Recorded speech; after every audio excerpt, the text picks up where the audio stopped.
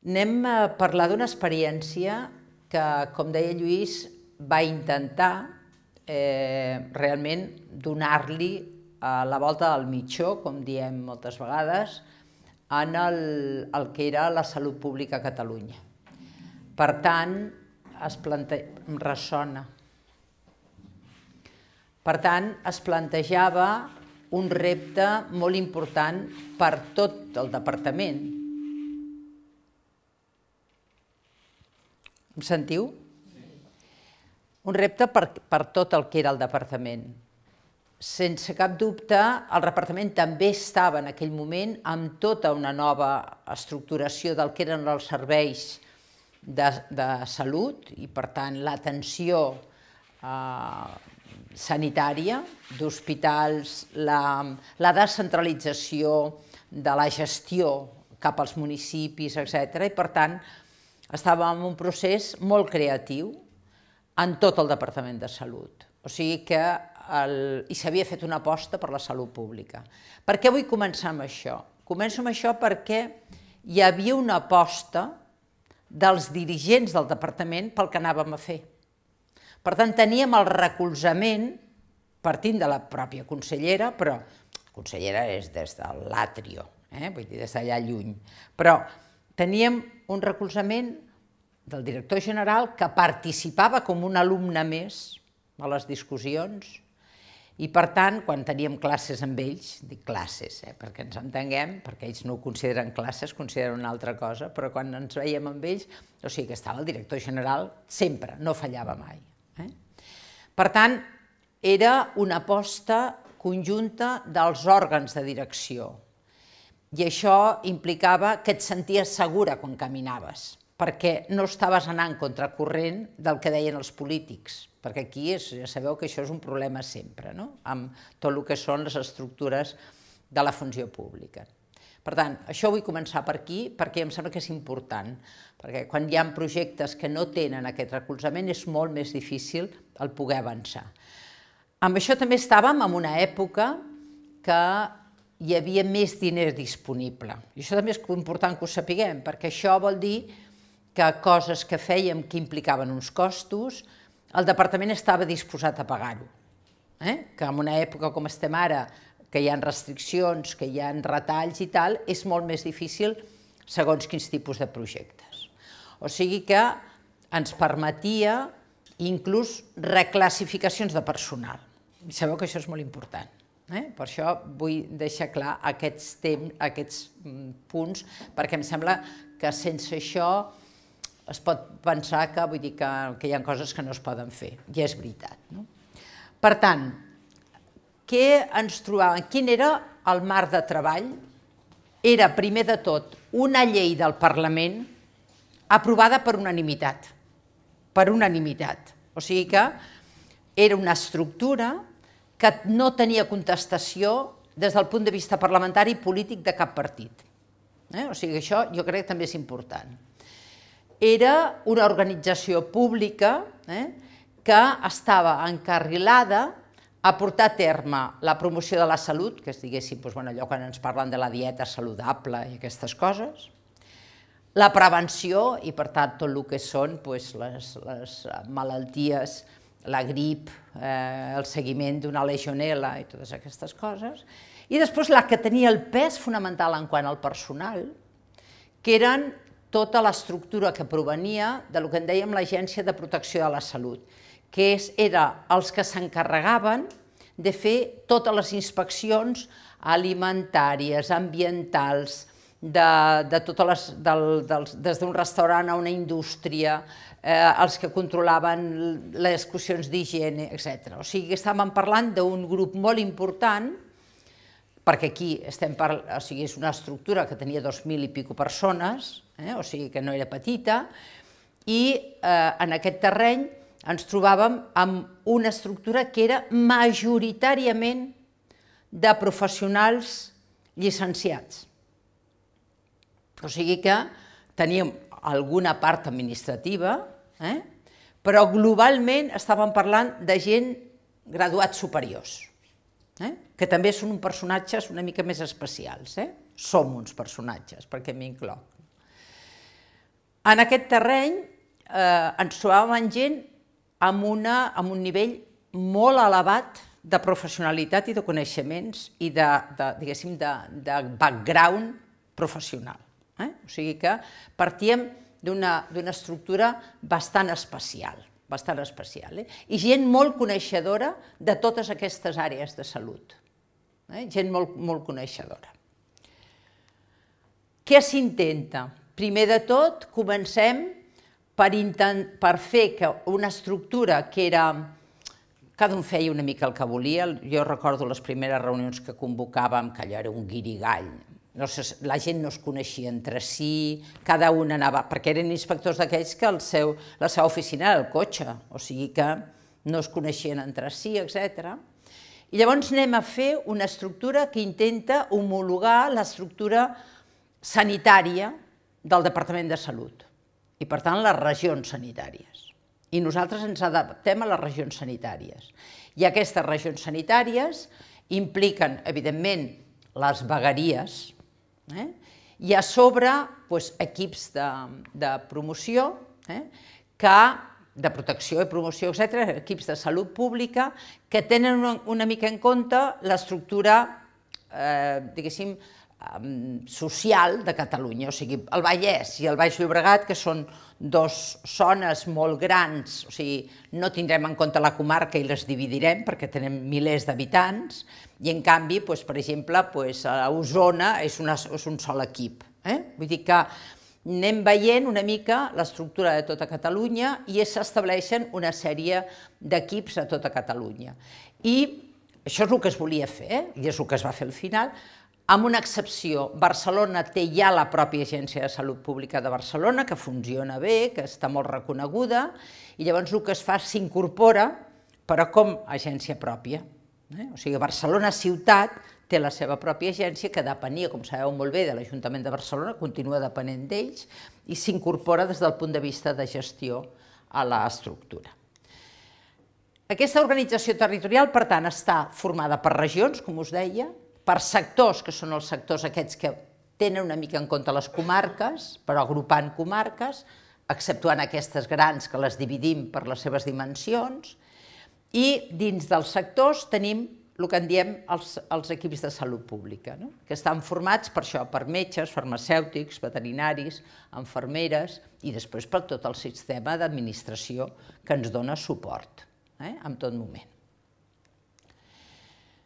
Quin era el repte amb el que ens trobàvem? Era, era un repte que, era, que partíem, primer de tot, d'unitats, fixeu-vos, d'unitats de treball totalment independents, sense connexions, procedents de, de serveis absolutament dispars, perquè les farmacèutiques, els, dic les farmacèutiques perquè quasi tot eren dones, eh? aquí sí que eren quasi tot dones, eh? anaven per un cantó, els veterinaris tenien inclús sous diferents, o sigui que fent la mateixa feina tenien sous diferents. Eh? O sigui, per tant, perquè procedien, els, els veterinaris procedien de la, dels escorxadors, de les batalles dels escorxadors, etc. i per tant tenien una dinàmica realment molt diferent. Eh? Després els metges, que eren metges d'atenció primària, però que tenien el grau de ser els metges de salut pública, que a més feien en la seva època de forenses també, o sigui, les enfermeres que tenim de salut pública, algunes a les, a les àrees d'atenció primària, i que aquests senyors continuen a les àrees d'atenció primària, però com fan tasques en els que controlaven l'aigua, els pobles, els que... Clar, tot això ho incorporem. Per tant, cada un ve de règims de funcionament radicalment diferents, amb protocols de treball radicalment diferents i tot això ho hem d'agrupar. O sigui que partim d'una situació de molts bons professionals, home, sempre hi ha els, els brètols a tot arreu, a veure, no ho farem, però em refereixo que teníem un nivell molt elevat de qualitat tècnica, però molt elevat. Eh? I, bueno, però tots aquests professionals partien de situacions molt diferents. Eh? Ara, què mancava amb tota aquesta gent? Majoritàriament el que els hi mancava és uns coneixements de lo que era la gestió de processos, perquè cada un havia anat, era el seu propi dirigent. Eh? I per tant, eh, teníem que plantejar-nos el que la gent treballés tenint en compte que totes les activitats eren un procés, que tenia el seu procés, no? i per tant, en aquest procés participaven moltes persones i de diferents situacions. O sigui que des del que agafava una mostra fins que al final prenia la, de, la decisió de tancar una empresa, per exemple, era claríssim que hi havia tota una gestió en la que intervenien advocats, intervenia administració, intervenia l'inspector, etc, i que tot això ho teníem que lligar. No? I per tant no hi havia experiència de gestió. I tampoc de direcció d'equips, perquè allà no hi havia equip, cap equip que valgués, quan nosaltres estem dient que anàvem a buscar una estructura en la que es funcionaria per equips. Vale? Per tant, això és important. O sigui, que no estaven acostumats a treballar col·lectivament i eh, és evident, els conflictes te'ls resolies tu perquè eren els teus propis conflictes, no eren conflictes de col·lectivitat.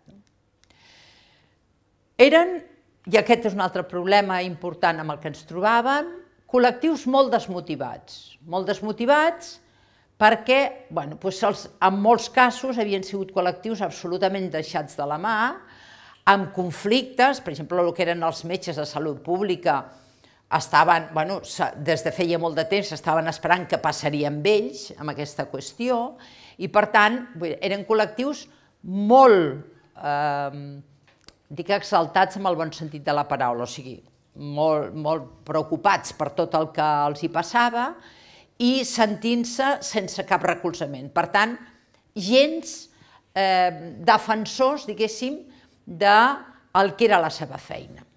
Eh? O sigui que ells no tenien en compte que no tenien cap sentit de pertinença a l'estructura.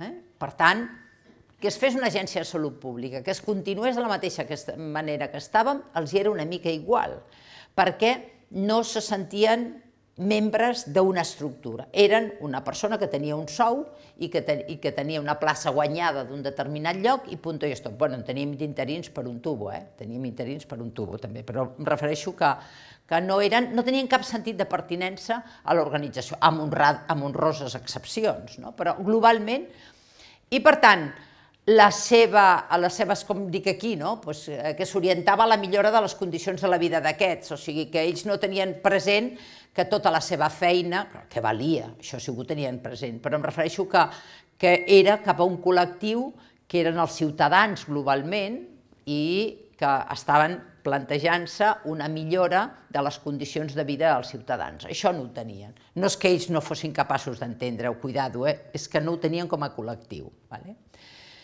Això, jo aquí sí que vull dir, una mica he començat per aquí, que una de les, de, per, del que partíem era d'una direcció molt motivada eh, per formar-se, la pròpia direcció, o sigui, acceptant que els dirigents no eren coneixedors de tot i per tant tenien que formar-se ells mateixos, començant, insisteixo, pel director general, i que teníem que fer que els, tots els quadres intermitjos i tal, vull dir, s'enganxessin al carro, però que hi havia una motivació important per part dels jefes, si ho podem dir així, perquè hi hagués un avenç amb aquesta estructura col·lectiva. Eh?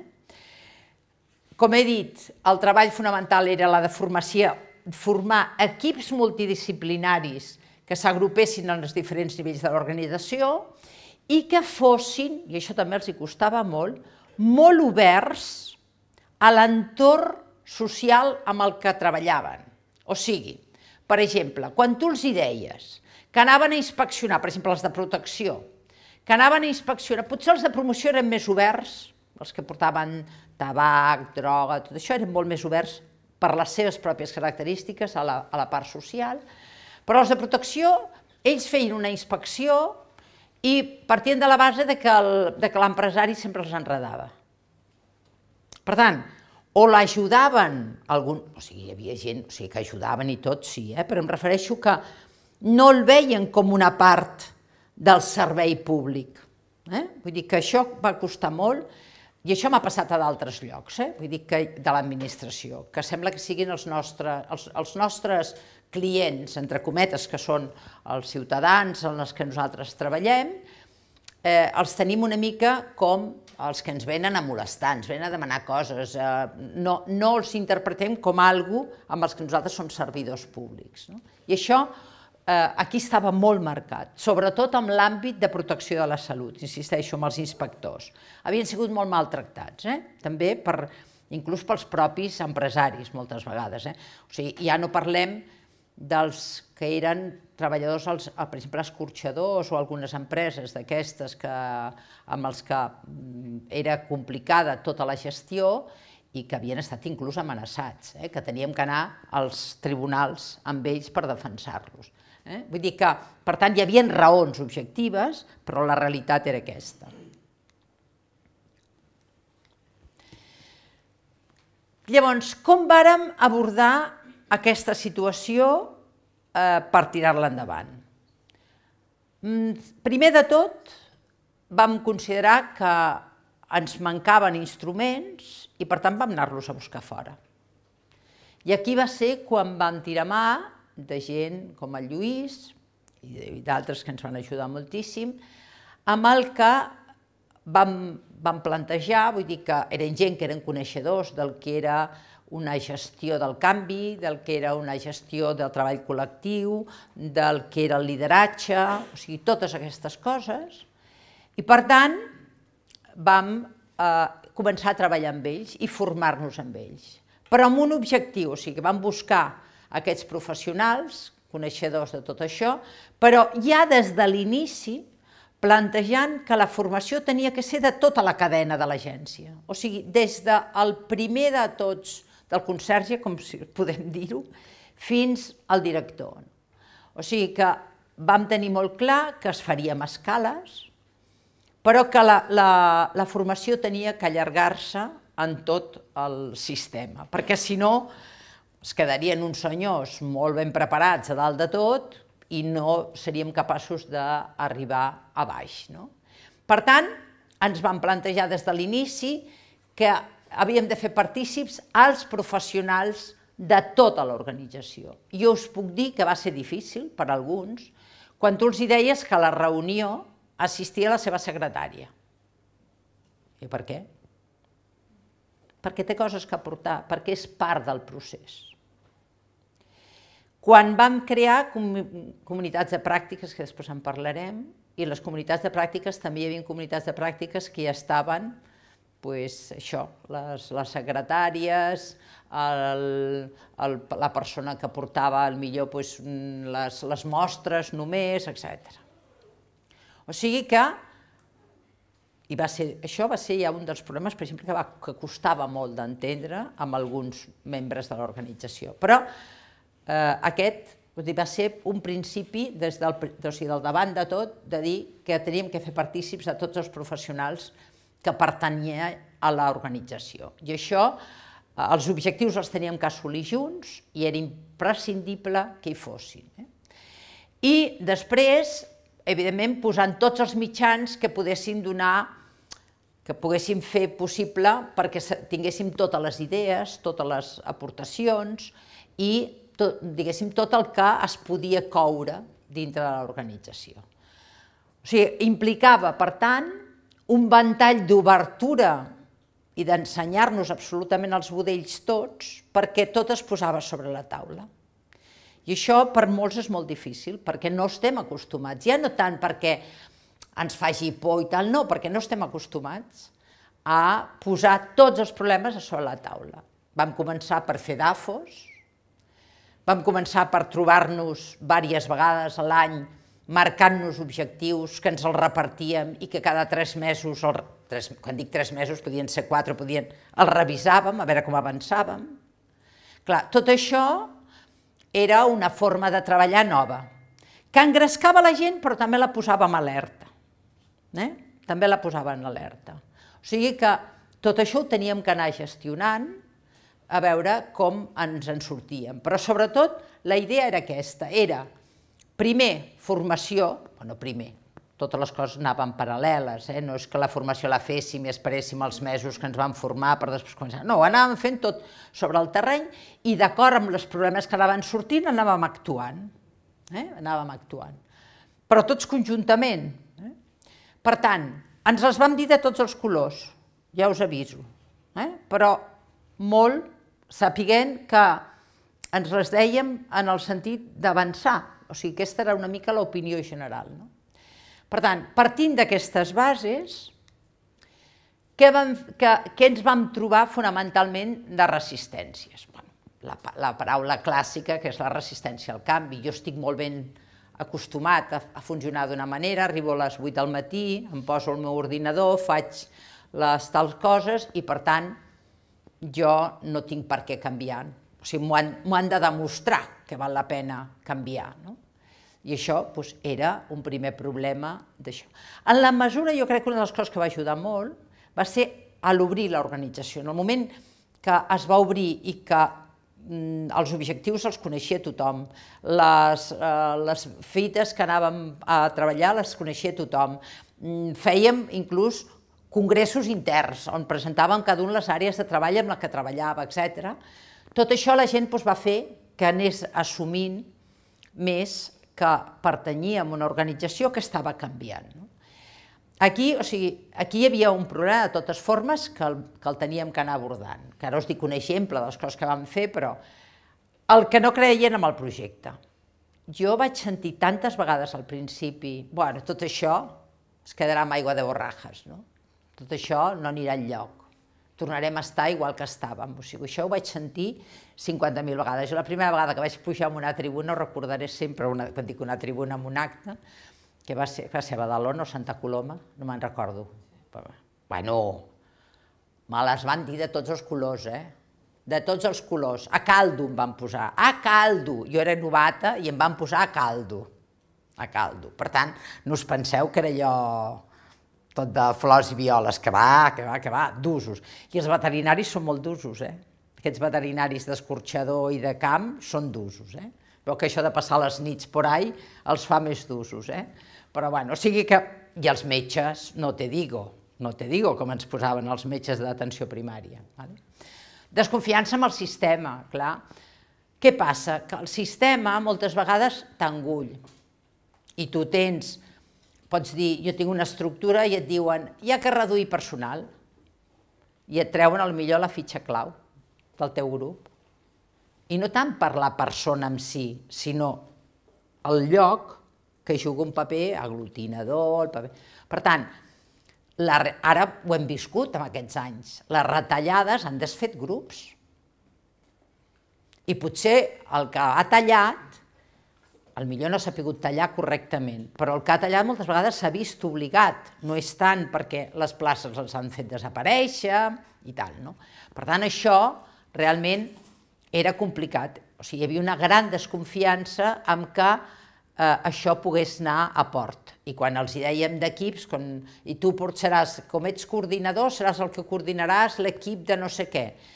I et deien, pues, no s'ho acabaven de creure. Inclús us puc dir que el grup de farmacèutics, que en teníem bastants, bastantes desenes, van fer grups, equips de farmacèutics, i vam nomenar coordinadors, coordinadores, que eren totes menys un, tot eren coordinadores, vam nomenar-les sense retribució anexa. O sigui que jo era coordinadora i la del meu costat no ho era, i cobràvem el mateix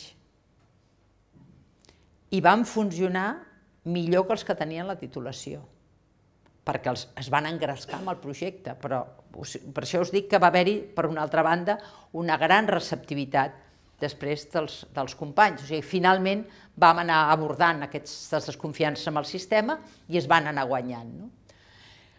L'esgotament foren a promeses que no es complien. Això ja ho sabeu quan diuen no, és que es crearan cinc places de no sé què, i la gent es fotia a riure de què morena. Vale? Bueno, doncs es van anar creant, per això us dic que estàvem amb vaques grosses, eh? cuidado. Eh? Però, bueno. Inseguretat, mm, degut a que teníem centenars d'interins.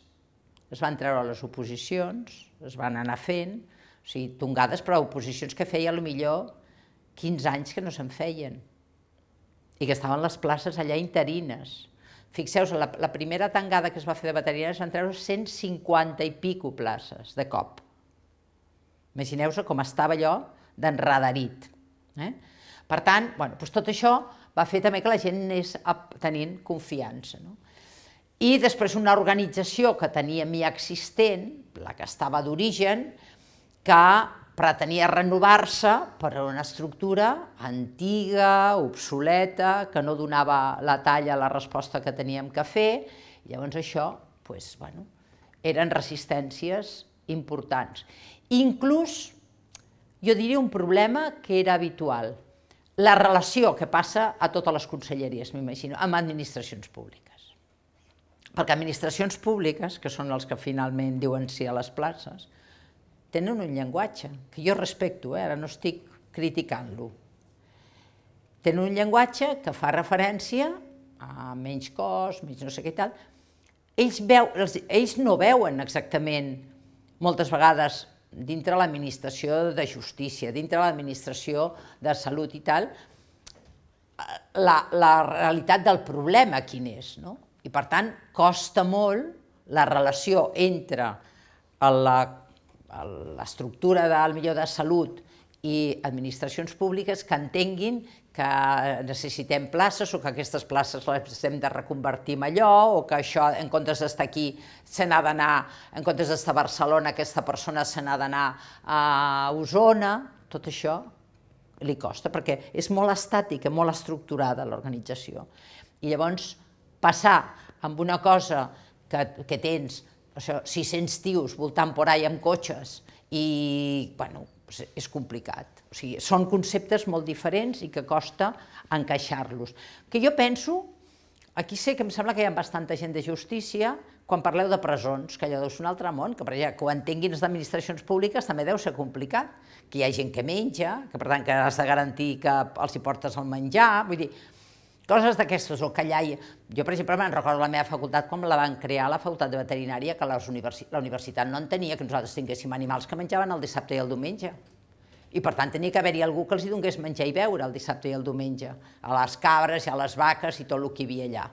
No? Pues, bueno, poso un exemple una mica tonto, però perquè ens entenguem el que vull dir amb aquestes qüestions. No? Per tant, una organització que existia, que era molt piramidal, eh? I que bueno, tenia que eh, canviar. Què es va fer amb els, amb els professionals de la casa? I dic a tots els nivells, amb unes, amb unes sessions diferents d'unes altres, però van fer una gestió de la transformació i, per tant, formació, depenia de les àrees, amb coneixement, amb amb, eh, amb procediments, amb protocols, etc. depenia de quines àrees les anàvem veient. Formació en salut pública, per què? Perquè molts dels professionals canviaven d'espectre. Per exemple, eh, un exemple clar, nosaltres vam fer eh, un seguiment dels menús escolars. Qui va fer aquest seguiment? Els veterinaris que feien les inspeccions de les cuines. Per tant, ells anaven a les escoles a controlar la cuina, normalment. Els fem canviar de xip i és que portin els menús escolars i després farem el menú escolar. Seguirem, si són equilibrats, on això faran els de promoció, però treballarem amb ells. Campanya de tabac, mateix, tabac a les escoles.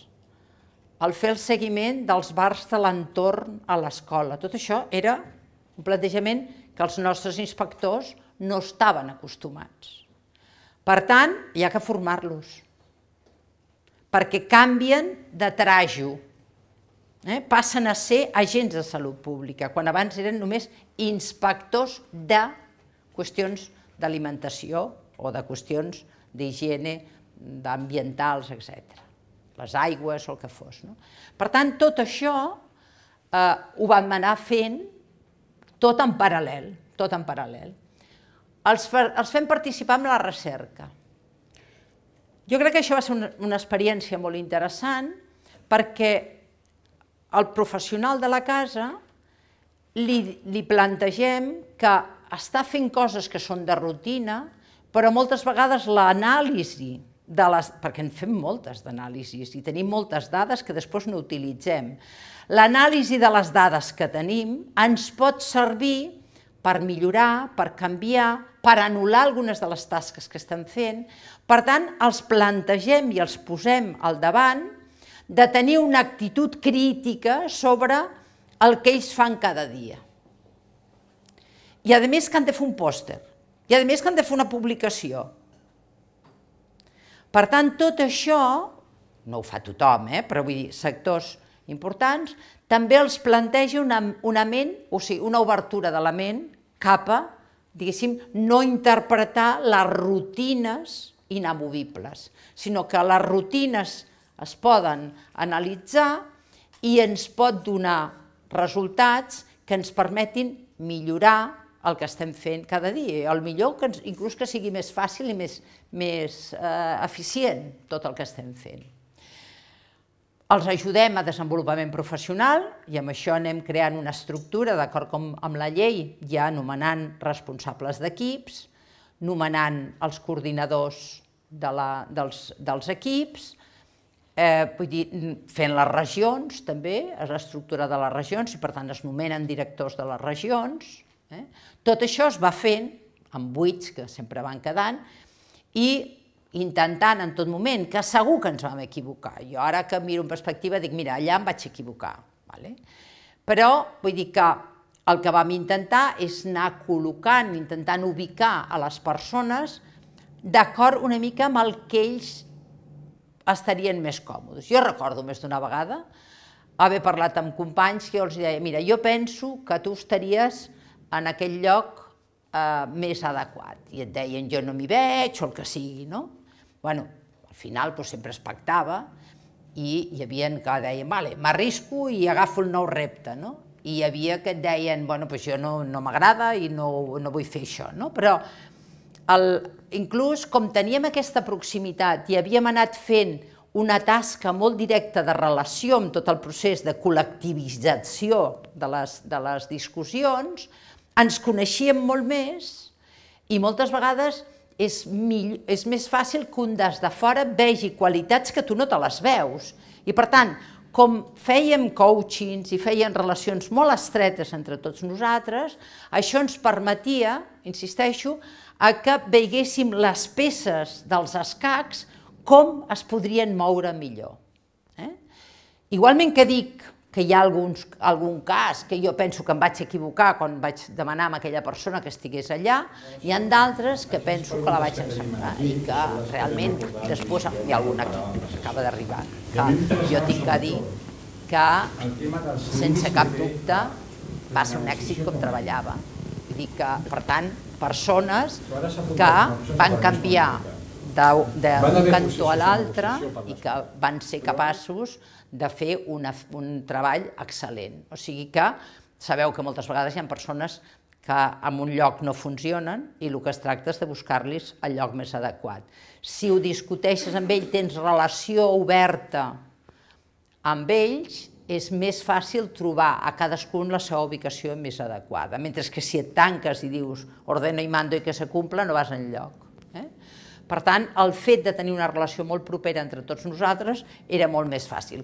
Vull dir que de vegades que ens preníem pel pitu al sereno entre tots, no? però per una altra banda, i que ens dèiem tot el que creguéssim eh, que ens teníem que dir, però, i ens discutíem i ens barallàvem, però realment sabíem que hi havia un equip que estava formant-se i que fèiem les coses conjuntament. Coses complicades, ràpidament sempre trobaves a gent que s'apuntava al carro per fer-les. No?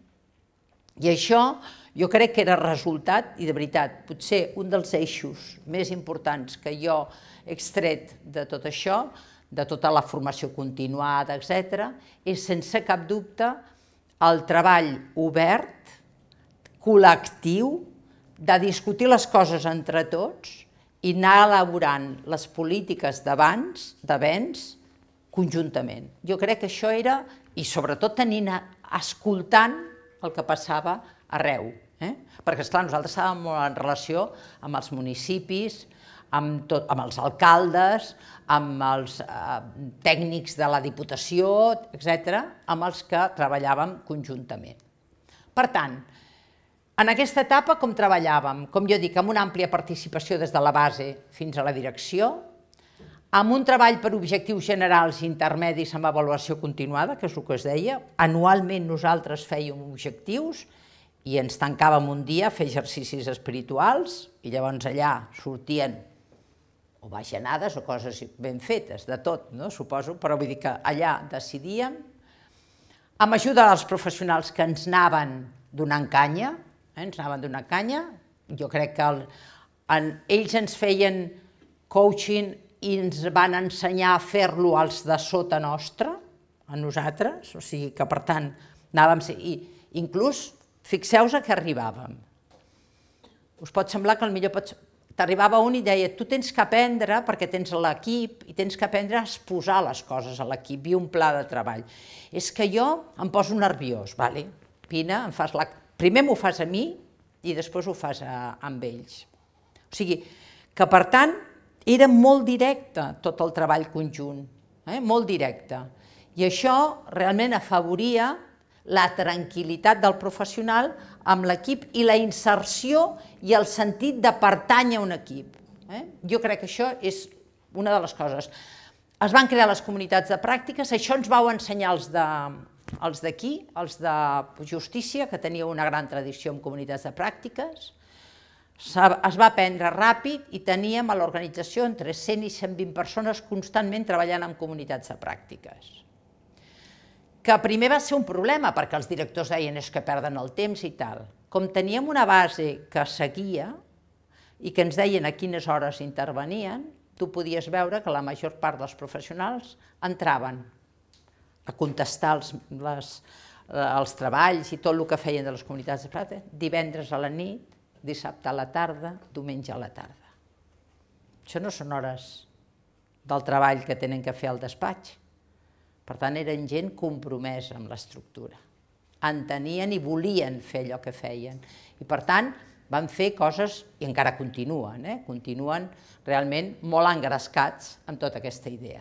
Però va ser, molt, va ser dur perquè primer hi havia una certa reticència per part dels directors regionals, considerant que, era una, que perdien el temps perquè es passaven fent doncs, coses d'aquestes amb un continu tras, traspàs. Aquí fallàvem una mica, ja us ho dic. La informació interna no trobàvem bé els canals per fer-la circular.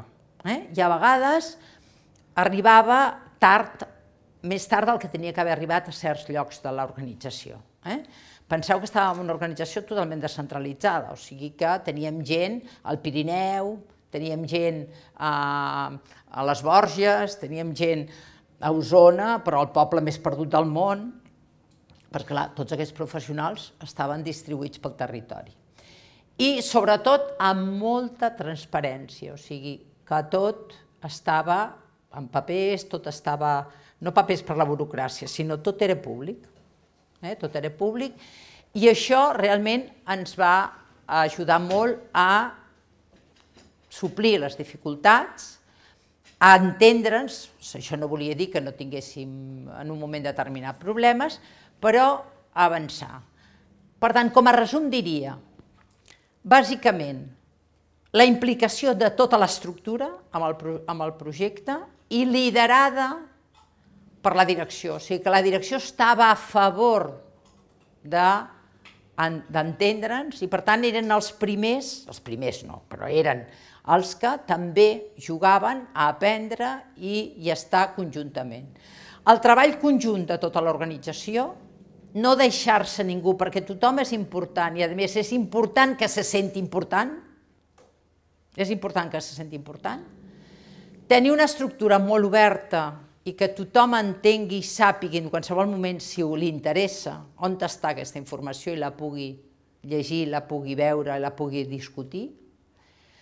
I després, sense cap dubte, tenir condicions, que això ja depèn menys de l'organització, però tenir condicions que permetin que eh, puguis donar un, un lloc de treball amb una persona que s'ho mereix per la seva tasca, i això sempre és molt difícil, eh? I que tinguis possibilitats de ser flexible amb coses, per exemple, això jo no ho he dit, eh? el que vaig a dir ara no ho he dit. Teníem una alerta i teníem un equip que anava a treballar aquesta alerta. I aquesta, per exemple, doncs, no sé, una legionel·losis, no? ja que són famoses per, també pels morts. I això volia dir que la gent aquesta, el dissabte o el diumenge, treballaven. Teòricament, no està previst amb el nomenclàtor donar-los festa un altre dia. Eh? Nosaltres els hi donàvem. Per això fèiem trampes. Això no s'ha de fer. Això no s'ha de fer. Però el que vull dir és que tens que tenir una estructura que et permeti aquesta flexibilitat. Perquè la gent llavors es compromet i no té cap problema a fer aquestes coses. Eh? Vull dir que això no està bé, eh, fer-ho. No, no us dic que prengueu un model d'això. Això, per això dic que jo no ho he dit. Però el que vull dir amb això és que s'han de buscar formes, i l'administració ho hauria d'entendre, per això és molt rígida l'administració, això no passa a la privada, normalment, és trobar formes que permetin que quan s'estan fent coses que són de profit per l'organització, trobar les formes per poder-se adaptar amb elles. Això ens costa molt. I l'administració ho hauria de trobar. Jo, com a últim, per acabar, i no és del que vull parlar ara, del que parlàvem ara, però, per exemple, quan jo vaig anar a Madrid em vaig trobar amb una cosa molt més dura que tot això. Allò és una carracúndia total, total, una estructura rígida. Bueno, tu els vas conèixer. El dia que jo me'ls vaig emportar d'exercicis espirituals, hasta la ministra em va cridar. Què haces? Vale? Per això us dic que imagineu-se. I això no pot ser l'administració, perquè si no som flexibles amb aquestes coses, la gent no se sent integrada i la gent diu, jo per què tinc que fer això si l'únic que em donen és pinyes? Vale? Per tant, és molt important i això l'administració li costa molt, eh? li costa molt. I realment quan tu tens aquest plantejament, la gent s'apunta al carro. És una experiència preciosa, vaig aprendre molt, vaig disfrutar molt, i jo crec que no l'oblidaré mai, perquè jo crec que avui comentava amb el Lluís coses de la meva universitat i que penso que són un desastre i el que em va ensenyar avui a que jo pugui dir que és un desastre va ser aquesta agència que l'estimo molt i que em va ensenyar moltes coses. Gràcies.